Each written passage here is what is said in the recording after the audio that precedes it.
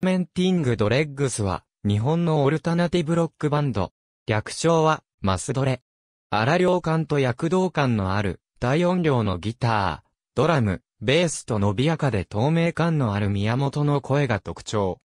アルバム、マス・オブ・ザ・フェルメンティング・ドレッグスの収録は、グルーヴ感を出すために、全曲ほぼ1回のみの演奏で撮り直しをしない、手法で行われた。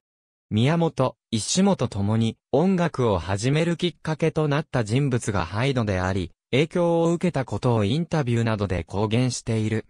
破壊感のあるメロディーと言われていることについて聞かれた際、宮本は意識していないと答えている。2007年、EMI Music Japan が主催したオーディション、 Road to Tarbox オーディションに参加、最優秀アーティストに選ばれる。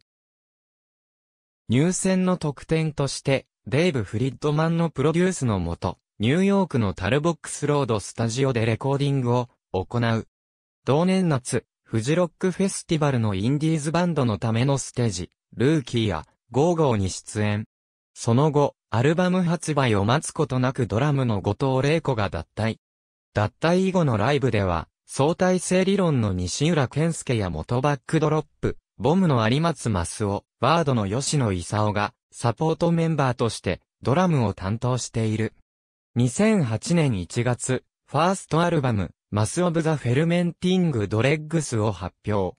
2009年1月には、中尾健太郎を共同プロデューサーに迎え、セカンドアルバム、ワールド・イズ・ユアーズを発表。12月には、サポートメンバーとして関わっていた、吉野勲をドラマーとして、正式メンバーに加入、そして、ファーストシングルを出すのと同時にメジャーデビューすることを決定した。2010年12月11日に行われた渋谷クラブクワトロのライブをもってギターの石本千恵美が脱退。2011年12月23日にドラムの吉野勲が渋谷 WWW でのライブをもって脱退。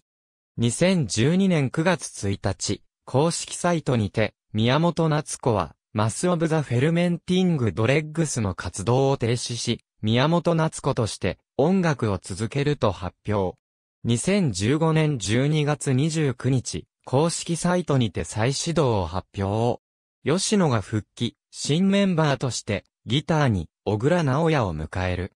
マスは集まり、質量、ファーメントは発酵、動揺、不安、ドレッグスは液体の底に沈んでいるカスや折、クズのように価値のないもの、といった意味を持つ。